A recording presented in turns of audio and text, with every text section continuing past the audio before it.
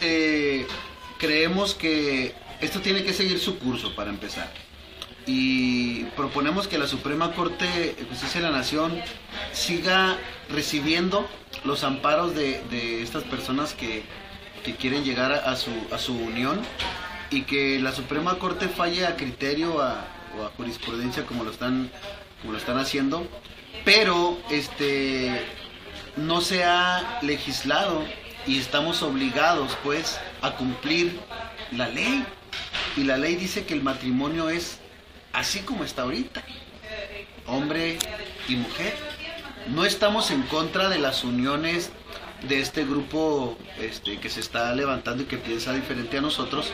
No estamos en contra de eso. Digo, tienen sus derechos y como derechos se los tenemos que respetar.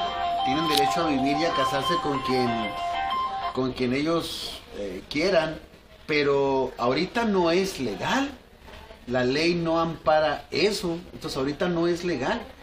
¿Me explico? Entonces, esas son las partes que nosotros estamos este, analizando ahorita, pero sí quiero subrayar y dejar claro que nuestra intención es encontrarles un marco legal para estas nuevas uniones que están este, surgiendo. El matrimonio tiene sus características especiales, por eso se llama matrimonio porque tiene sus características especiales.